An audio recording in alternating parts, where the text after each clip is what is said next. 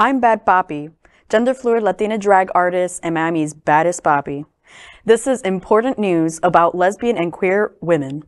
We are the Aqua Foundation for Women, the only nonprofit 501c3 in Florida by and for LGBTQ women.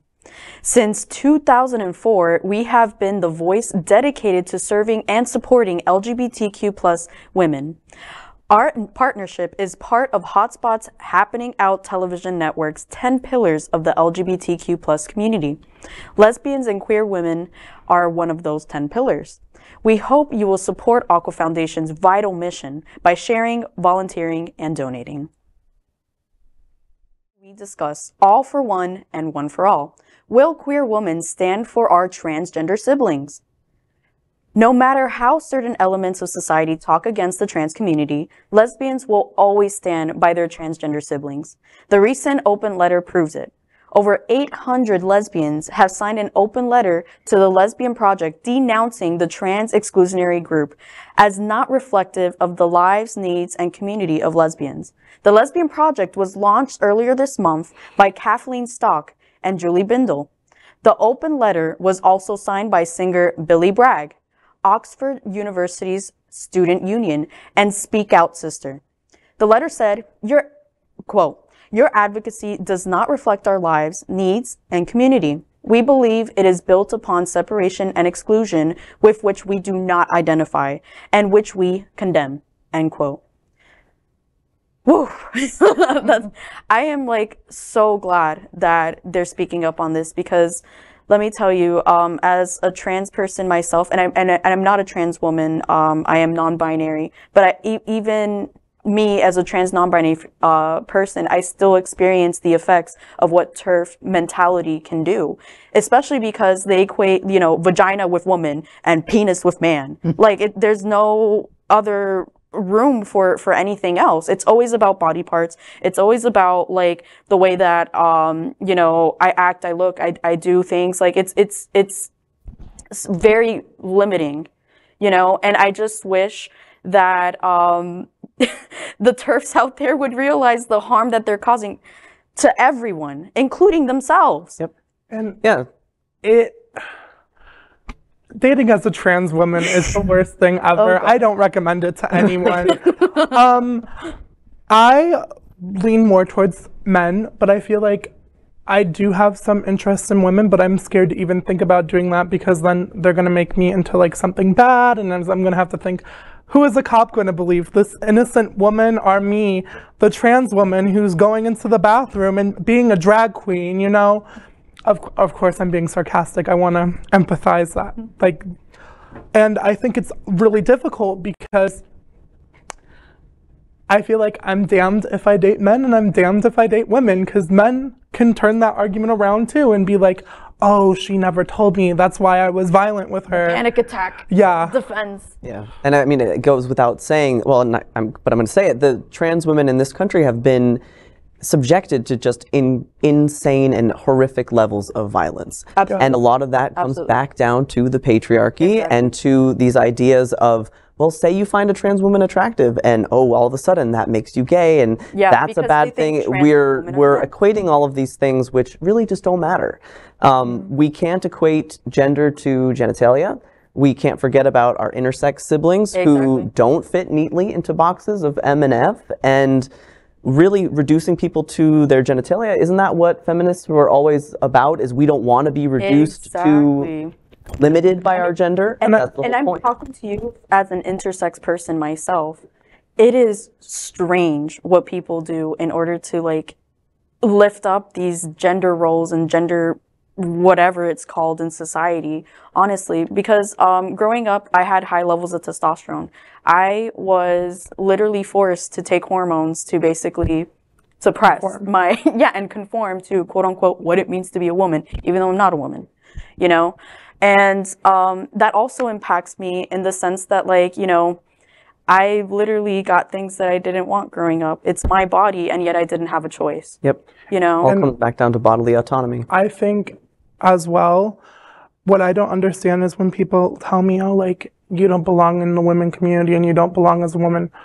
I have, my mind as a woman, I there's so many facts of womanhood. Why does having a vagina, having a period, and giving birth have to mean womanhood? There are women who don't Don't have do that, who exactly. don't give birth. So let me ask you guys, right? And and because again, you know, I'm gonna sit on this side of the table here for a moment. All right. I, I was thinking, I was thinking, they're the the youngins. Yeah. He is like in the middle, and then you and I are over here. Okay, so you know, for my generation, for your generation, Karen, you know, this conversation isn't as simple as you guys are making it, right? It's just not because they're br- our brains, not my brain. My I'm I'm fine, but uh, our brains as a collective, as a whole, don't can't necessarily wrap around this idea of two spirit of intersex of these you know even transgender the drag they can't stomach a drag queen. You think they can even swallow what it, to understand transgender? Now i think it's like really really important to say so how because I'm not transgender. So I can't be the one to write the literature that makes it easy for people, the quick guide, you know, that comes with all the- 101. yeah, the the quick guide for those people who are people in my in my generation who are interested in growing as people, as human beings who are are believe in that message of love and acceptance, but have no idea what you're talking about. you I get think what it's I mean? also reconstructing your own values of gender and what gender means to you. I think it's all about reconstruction. When we move forward and, you know, generations process and different things process, the only way we can move forward is by reconstructing our values and old things. Yeah, and Move forward. and reconstructing is again, you're asking someone to to destroy Yeah. 50 years of their life It's very hard. Yeah. and erect this new non-binary it's- queer, ge- you know. let me make it a little more simple. I mean, Yeah. as a transgender person, uh, one of the hardest things to hear and it, from you know your family, your parents is they're mourning their daughter, which you're still the same person. Yeah. You're you know, and obviously people need time to come to grips and however that looks, right? But the fact of the matter is, it's a person's a person, right? We're the same person regardless of how we look, what we do, how we act, how we what we call ourselves. And I think that's what really comes down to it is making those human connections and talking, like asking me, like, can you, if you're comfortable, do you want to, would you mind sharing with me something? I'm, I've never quite understood this aspect. I have questions. You know, Google is your friend. You may also find some really strange, well, Google's not your friend, but searching and researching is Is your friend. Um, and also making making friends and genuinely when when you can tell when someone has care in their heart and Mm-hmm. just wants to know not because you're a freak show but because they care about you and want to better themselves. I, I also want you to ask yourself, how do I know I'm a woman? You know, because a lot of times people are always like, oh, trans woman and trans men and, and trans non-binary people, like, how do they know? How do they know? Well, how do you know? You know, cis people also have um, a question to ask themselves, and they make a choice every single day in being a cis, per, uh, uh, be presenting as a gender and being the gender that they are. So how do you know? I think I even had that point. conversation with my mom. I mean, I could answer that.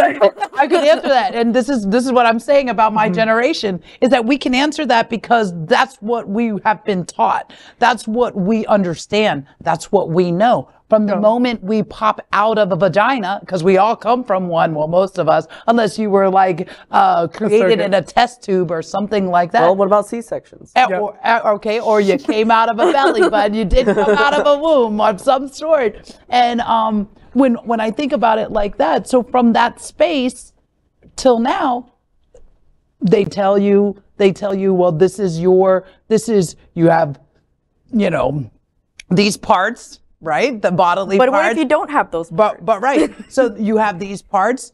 You uh, have this that happens to you every month. Uh, you have hormones. You have, and when you get into new ages, you.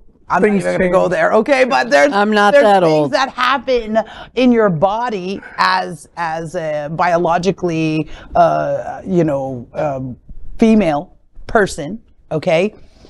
that then tells me I'm female. Right. and the deeper you delve into it, because women and people who are biologically, you know, live on with estrogen in their bodies go through different phases and at a certain point any signifier, any descriptor you might use might not be valid at some and, point and not their apply life. to I- all women. For I think- example, not all women like can give birth. Not all women have periods. Not all women have low levels of testosterone. Not all women like there. There's so many generalizations that. I that are think it's made. also about like knowing like me and my mom has had this conversation because my mom was like, you know, I had suspicions because I, w- I was a theater kid, so oh, sorry. I would make like little things. My mom was like, why are you always a girl in everything you do? And I'm like, it's natural to me, you know? That's a great answer too. Um, LGBTQ plus news is vital for our community and for the broader world as a whole.